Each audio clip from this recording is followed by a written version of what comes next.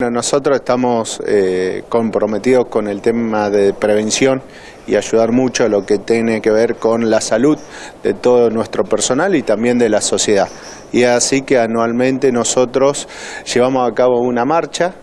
eh, donde recaudamos fondos para hacer una donación. En este caso fue al Alcet, a Lucau, donde necesitaban renovar unos equipos que tienen que ver con el proceso de los tejidos y el análisis y el diagnóstico de todos los tejidos biopsiados en los pacientes y así que decidimos ayudarles a que incorporen un procesador de tejidos y un centro de inclusión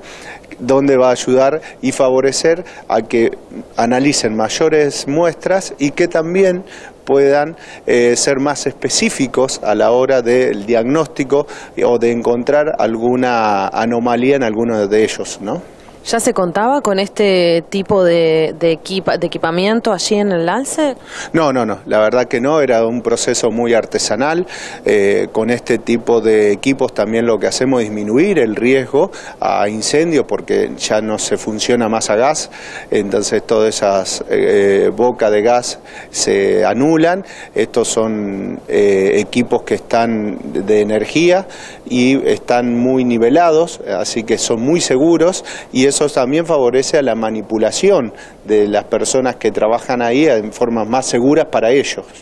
¿Qué costo tiene en, base a lo que nos contabas de que em, hicieron una juntada de dinero para poder comprar este equipo? Sí,